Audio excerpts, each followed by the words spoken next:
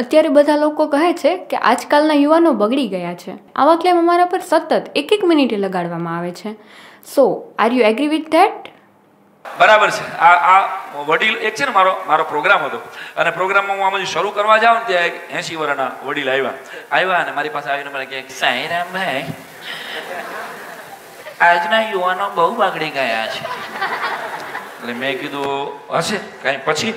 તો મને કે, તમને શું લાગે છે? એટલે મેં કીધું, હા, વડીલ, તમા, તમારી ઉંમર કેટલી થઈ? મને કે સાઠમું ચાલે છે. મેં કીધું, તમારા છોકરાના છોકરાના છોકરા મોટા થશે અને મારા છોકરાના છોકરાના છોકરાને આ જ જગ્યા ઉપર પૂછશે કે, યુવાનોનું શું થશે?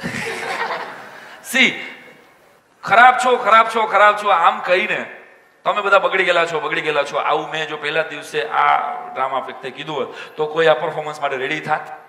તમે કરી શકશો, તમને ઉત્સાહ આપ્યો કે નહીં, તમે કરી શકો, તમે તો આજની પેઢી મારી દ્રષ્ટિએ વધારે કોન્ક્રીટ છે, કારણ કે દંભી પેઢી નથી. તમે જેવા છો ને એવા ક્લિયર છો કે ભાઈ આ નથી ગમતું, તો નથી જ ગમતું, મોઢા ઉપર કેવા વાળા છો.